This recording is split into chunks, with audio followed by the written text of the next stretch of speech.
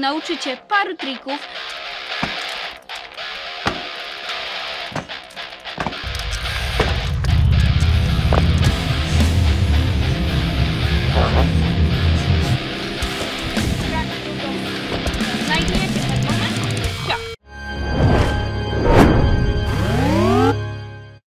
Tu! W dzisiejszym odcinku nauczycie paru trików, którymi na pewno zaimponujesz kolegom lub koleżankom. Więc co? Lecimy! A, no tak, no i jeszcze Subik Social i co? Let's go! Pierwszy trik to będzie crank flip. No to słuchajcie. Opowiem wam wszystko krok po kroku. Na początku co to jest crank flip? To jest obrócenie korb i pedałów o 360 stopni. Na początku musicie się dowiedzieć, jaką macie nogę z przodu na pedale. Ja mam na przykład prawą, wy możecie mieć lewą, więc koniecznie to sprawdźcie, bo to jest mega ważne na sam początek. Jak już macie, którą nogę macie z przodu, no to jest już coś. Teraz trzeba to jakoś wypchnąć. Okay. Jeśli będziemy to robili na zasadzie tylko i wyłącznie wypychania, nam to się na 100% nie uda. Więc trzeba pochylić nogę do przodu, czyli palce muszą iść w stronę ziemi.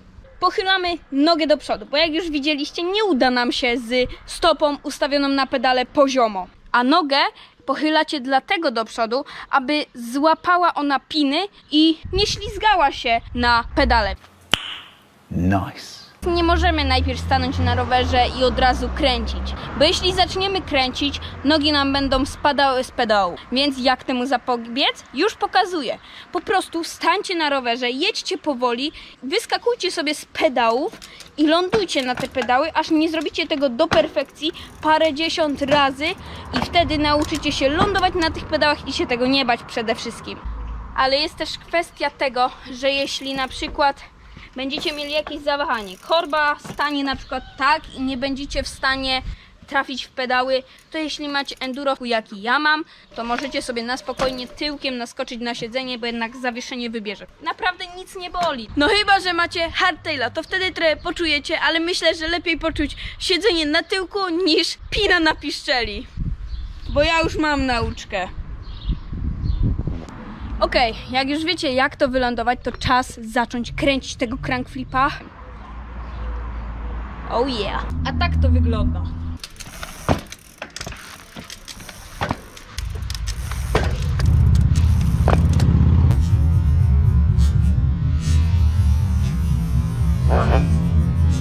Proste, co? To do roboty. Wiesz już o co chodzi z crank flipem, więc teraz pokażę Ci jego rozszerzoną wersję. Lecimy. To teraz będzie jazda na jednym kole z crank flipem i zobaczcie jakie to też jest łatwe. Bo zobaczcie, to jest łatwiejsze niż zwykły crank flip. Jak już jesteście w takim przechyle, co nie?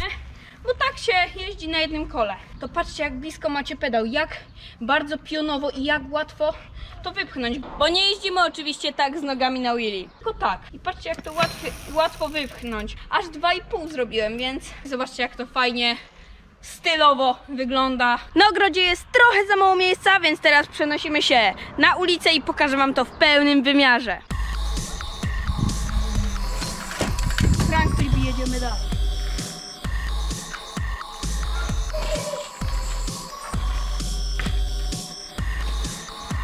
Drugą tak samo.